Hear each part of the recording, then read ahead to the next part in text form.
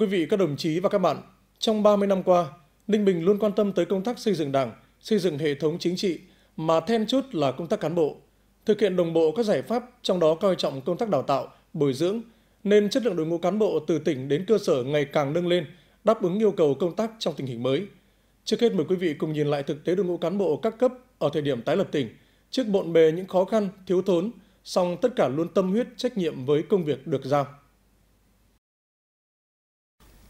Sau khi tái lập tỉnh, cán bộ từ tỉnh đến cơ sở còn thiếu và có những mặt còn hạn chế. Để lãnh đạo chỉ đạo thực hiện thắng lợi các nhiệm vụ chính trị, tỉnh ủy đã quan tâm đến việc sắp xếp đội ngũ cán bộ đảm bảo phù hợp nhằm phát huy mặt mạnh của mỗi người trong quá trình công tác. Khi mà tái, tái lập tỉnh thì cái khó nhất, khó đầu tiên nói chung là khó nhất là công tác cán bộ. Nhưng mà chỉ một thời gian ngắn là độ tổ chức bố trí hoàn thiện tất cả các bộ máy cán bộ của tỉnh và các huyện thành thị vì lúc ấy vì điều động khá lớn cái đội của cán bộ của huyện tỉnh thì lên bổ sung cho tỉnh. Cho nên là đã có một cái đội ngũ cán bộ và cái tổ chức ổn định là cái đội ngũ cán bộ là rất hăng hái đoàn kết phấn khởi uh, tự nguyện tự giác để mà triển khai các mặt hoạt động. Cho nên là các mặt hoạt động trong tỉnh á, là đều được phát triển và được đổi mới uh, so với trước khi mà tái lập tỉnh thì ờ, rất là nhiều khó khăn. Đội ngũ cán bộ thì ờ, tỉnh về chỉ có độ hơn chục đồng chí thôi. Nên lúc bây giờ thiếu cán bộ. Thế tỉnh mới điều động chúng tôi lên để tăng cường ờ, là cái đội ngũ cán bộ cho tỉnh. Thế tôi lúc bây giờ làm bí thư huyện ủy nho quan, anh túc bảo được lên để rồi hệ hình thành là lập cái ban tuyên giáo. Thế thì ban tuyên giáo lúc đầu khó khăn lắm. Lúc bây giờ chỉ có độ sáu bảy đồng chí thôi thế thì công việc thì rất nhiều. Mình phải làm à, công tác tư tưởng để cho cán bộ đảng viên và nhân dân cái lòng phấn khởi thì được tách tỉnh ra rồi. Nhưng mà bây giờ cái trách nhiệm phải tự lực tự cường phấn đấu như thế nào thì nó vươn lên được. Mới xứng danh cái tỉnh của mình làm đẹp cho cái quê hương mình. Chỉ sau một thời gian, đội ngũ cán bộ từ tỉnh đến cơ sở đã được sắp xếp hợp lý và đi vào hoạt động nề nếp, hầu hết đều phấn khởi nhận và luôn phấn đấu để hoàn thành tốt chức trách nhiệm vụ được giao. Từ hồi tái lập tỉnh là bản thân tôi cũng đi một cái xe đạp thống nhất, mỗi một ngày là phải di chuyển từ Khánh Hồng xuống Kim Sơn để làm việc. Hai nữa là nhìn chung đời sống kinh tế của anh thì còn anh em còn nghèo. Thì lúc bây giờ à, động viên anh em mà tôi bây giờ mới tái lập tỉnh thì tình hình kinh tế nó cũng còn đang thiếu thốn đang khó khăn. Thì ta phải tự là vượt lên những cái khó khăn đấy để mà làm việc. Thì anh em nói chung là cũng đoàn kết bảo nhau là làm việc được. Ờ, huyện chúng tôi thì về giáo dục là cũng xếp vào loại khá của tỉnh. Đúc rút kinh nghiệm công tác từ các thế hệ đi trước được học tập qua các trường, lớp và được rèn luyện thử thách từ thực tiễn cuộc sống, nên 30 năm qua, đội ngũ cán bộ từ tỉnh đến cơ sở đã trưởng thành hơn rất nhiều. So với thời kỳ tái lập tỉnh thì bây giờ cái đội ngũ cán bộ là là mạnh hơn rất nhiều. Là thứ nhất là được đào tạo cơ bản, thứ hai là có kinh nghiệm thực tiễn, thứ ba là đoàn kết. Phải nói trong những năm gần đây cũng mới là nổi lên ở chúng ta vẫn là đoàn kết đoàn kết trong cấp ủy đoàn kết ừ, trong cán bộ đảng viên để rất là tốt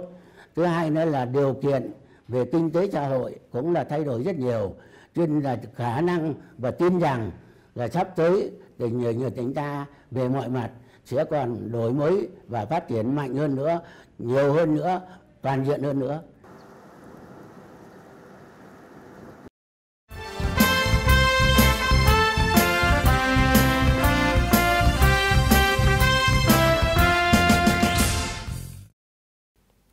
Để có được đội ngũ cán bộ như ngày hôm nay, thời gian qua Ninh Bình luôn quan tâm tới việc đào tạo, bồi dưỡng về lý luận chính trị, trình độ chuyên môn nghiệp vụ cho cán bộ với nhiều hình thức. Bên cạnh đó mỗi cá nhân cũng đã không ngừng tự học, tự rèn để hoàn thành tốt nhiệm vụ được giao, xứng đáng với niềm tin sự kỳ vọng của cấp ủy, chính quyền và nhân dân. Xác định tầm quan trọng của đội ngũ cán bộ trong quá trình lãnh đạo, chỉ đạo thực hiện các nhiệm vụ chính trị, nên trong những năm qua, Ninh Bình đã có nhiều chủ trương chính sách cụ thể như Nghị quyết số 06 ngày 28 tháng 12 năm 2016 của Ban chấp hành Đảng Bộ tỉnh về phát triển nguồn nhân lực đến năm 2020, định hướng đến năm 2030 quyết định số 01 ngày mùng 2 tháng 1 năm 2018 của Ủy ban Nhân dân tỉnh về công tác đào tạo bồi dưỡng cán bộ, công chức, viên chức, Nghị quyết số 25 ngày 12 tháng 7 năm 2019 của Hội đồng Nhân dân tỉnh ban hành nội dung mức chi, mức hỗ trợ dành cho công tác đào tạo bồi dưỡng cán bộ, công chức, viên chức. Điều này đã thể hiện sự quan tâm của tỉnh ủy, Hội đồng Nhân dân, Ủy ban Nhân dân tỉnh đối với đội ngũ cán bộ trong giai đoạn hiện nay. Từ đây, các cơ quan đơn vị đã tham mưu cũng như chủ động xây dựng nội dung, chương trình, phương pháp đào tạo, bồi dưỡng phù hợp, chú trọng đến việc hoàn thiện tiêu chuẩn chức danh, cơ cấu ngạch và vị trí việc làm. Công tác ờ, cán bộ và đặc biệt là công tác đào tạo, bồi dưỡng cán bộ thì có một ờ, vị trí hết sức quan trọng trong ờ, xây dựng hệ thống chính trị. Trong năm qua, ban tổ chức luôn luôn tham mưu cho thường trực, ban thường ủy ủy về công tác đào tạo, bồi dưỡng cán bộ gắn với cái vị trí việc làm và chức danh công tác và đặc biệt là quan tâm đến cán bộ trẻ, cán bộ nữ được đi đào tạo bài bản để nâng cao cái nhiệm vụ công tác cũng như là cái lý luận chính trị để thực hiện cái nhiệm vụ được giao. Tuyển dụng đầu vào là cơ bản đã đạt chuẩn theo quy định. Nên cái việc à, đào tạo và bồi dưỡng thì chủ yếu tập trung vào công tác bồi dưỡng, nâng cao kiến thức và cập nhật kiến thức chuyên môn. Thì à, à, chúng tôi cũng đã tiến hành tổ chức các cái lớp bồi dưỡng, cập nhật kiến thức cho đội ngũ cán bộ công chức viên chức, đặc biệt là đối với đội ngũ cán bộ công chức cấp xã trên cơ sở nhiệm vụ được giao cũng như xuất phát từ yêu cầu thực tế, đội ngũ cán bộ công chức, viên chức ở các cơ quan, đơn vị đã đăng ký đi học theo hình thức phù hợp, trọng tâm là đào tạo, bồi dưỡng về kiến thức, kỹ năng chuyên môn nghiệp vụ, tin học ngoại ngữ, việc phối hợp với các cơ sở đào tạo trong và ngoài tỉnh để tổ chức các lớp theo kế hoạch được thực hiện tốt, đảm bảo chất lượng, được cấp ủy Đảng ghi nhận đánh giá cao. Trong giai đoạn 2016-2021, trường chính trị tỉnh đã tổ chức được trên 300 lớp đào tạo bồi dưỡng với trên 40.000 học viên. Tôi cùng cái học viên à, lớp à, tập trung à, lý luận chính trị khóa 7 ấy, thì được nhà trường triển khai ờ, theo hai cái ờ, hình thức đó là kết hợp cả lý thuyết và thực hành. Thì à, ngoài những buổi thực hành lý luận thảo luận trên lớp thì nhà trường cũng tổ chức đi thực tập thực tế tại các địa phương để tìm hiểu sâu sắc hơn đến thực à, tại ừ, liên hệ thực tế thực tế tại địa phương để cho, cái phần lý luận của chúng tôi sẽ gắn với cái thực tiễn để cho giúp ích cho cái công việc mà sau này chúng tôi sẽ thực hiện tốt hơn cái cái nhiệm vụ mà cơ quan giao cho. Công tác đào tạo bồi dưỡng cán bộ công chức viên chức đã đảm bảo đúng đối tượng, mục tiêu, tiến độ, thời gian, đạt chất lượng – Kết quả, số lượng cán bộ, nhất là cán bộ lãnh đạo quản lý được đào tạo bồi dưỡng về lý luận chính trị, chuyên môn, nghiệp vụ, quản lý nhà nước ngày càng tăng lên. Đến nay, 100% số cán bộ công chức cấp tỉnh, cấp huyện được đào tạo đáp ứng tiêu chuẩn quy định. 100% cán bộ công chức cấp tỉnh, cấp huyện giữ chức vụ lãnh đạo quản lý được đào tạo bồi dưỡng theo chương trình quy định. 100% cán bộ cấp xã được bồi dưỡng kiến thức, kỹ năng, lãnh đạo, quản lý điều hành. Về cái đào tạo, bồi dưỡng các kiến thức cho cán bộ công chức cấp xã,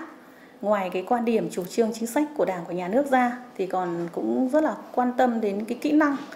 kỹ năng à, thực khi thực hiện nhiệm vụ của cán bộ công chức. Thì trong các chương trình đào tạo bồi dưỡng của nhà trường thì tập trung vào các kỹ năng cơ bản như kỹ năng à, lãnh đạo quản lý xử lý các tình huống trong công tác đảng trong quản lý nhà nước rồi à, kỹ năng chủ trì cuộc họp mấy kỹ năng xây dựng lập kế hoạch để trong ờ, quá trình thực hiện nhiệm vụ là tham mưu hoặc là chỉ đạo thì tạo cái hiệu quả công việc nó sẽ cao hơn. Bên cạnh đó, việc điều động luân chuyển cán bộ được quan tâm, đây cũng là một hình thức đào tạo bồi dưỡng cán bộ từ thực tiễn. Theo đó, cán bộ sâu sát cơ sở, bổ sung kiến thức ở các lĩnh vực, thực hiện lãnh đạo chỉ đạo sát chúng mang lại hiệu quả cao.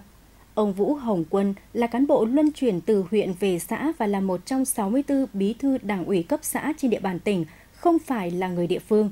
Qua hơn 3 năm công tác tại cơ sở, ông đã học tập tích lũy được nhiều kinh nghiệm trong công tác lãnh đạo, chỉ đạo, điều hành và trở thành cán bộ trẻ đầy triển vọng. Chúng tôi cũng đã học hỏi được rất nhiều các cái kinh nghiệm từ các cái đội ngũ ờ, cán bộ các thế hệ lãnh đạo đi trước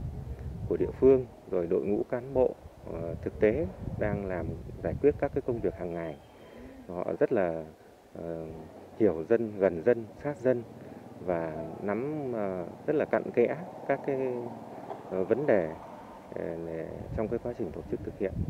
Đặc biệt đối với lại quá trình mà giải quyết các cái công việc ấy, Ờ, khi mà tiếp xúc với nhân dân thì chúng tôi có cái điều kiện để ờ, tìm hiểu được tâm tư, nguyện vọng của nhân dân ờ, để bổ sung thêm cái kiến thức thực tiễn của mình. Theo với cái nhu cầu hiện nay của cái nông thôn mới nâng cao đối với các khu dân cư thì ngay đồng chí bí thư thì cũng đã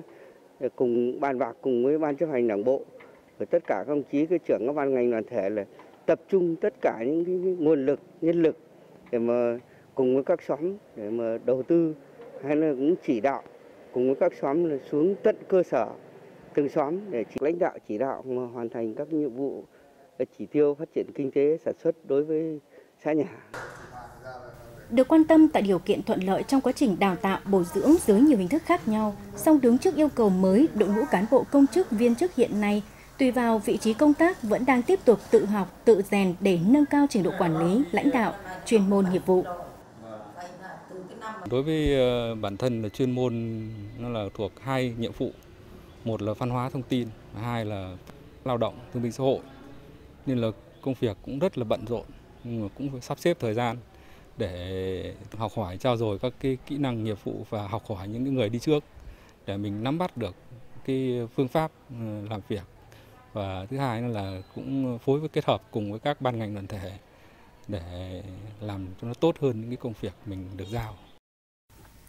Đến nay, Ninh Bình đã xây dựng đội ngũ cán bộ có đủ trình độ năng lực, luôn tâm huyết trách nhiệm với công việc và có khát vọng vươn lên. Điều này góp phần xây dựng Đảng, chính quyền trong sạch, vững mạnh, lãnh đạo thực hiện thắng lợi nghị quyết đại hội Đảng các cấp, tạo niềm tin với quần chúng nhân dân. Ban à, thành phố nói chung và cũng là tổ à, phường chúng tôi nói riêng, các đồng chí à, cán bộ rất là có năng lực và có trình độ đặc biệt là tăng cường xuống cơ sở, nắm bắt tâm tư nguyện vọng của nhân dân, yêu cầu của nhân dân những nguyện vọng như thế nào đó là các anh ấy về. Đưa vào nghị quyết của đảng ủy, ủy ban và sau đó là thực hiện rất là đầy đủ và chu đáo đến với người dân. Cho nên người dân rất là yên tâm và tin tưởng vào sự lãnh đạo của Đảng và chính quyền ở địa phương. Đào tạo, bồi dưỡng để xây dựng được đội ngũ cán bộ đảm bảo chất lượng chính là điều quan trọng để nâng cao năng lực lãnh đạo, sức chiến đấu của cấp ủy, tổ chức đảng, tạo nền tảng vững chắc cho sự phát triển đi lên của quê hương hôm nay. Chuyên mục Đảng trong cuộc sống hôm nay xin được kết thúc tại đây. Cảm ơn quý vị và các bạn đã quan tâm theo dõi. Xin kính chào tạm biệt và hẹn gặp lại.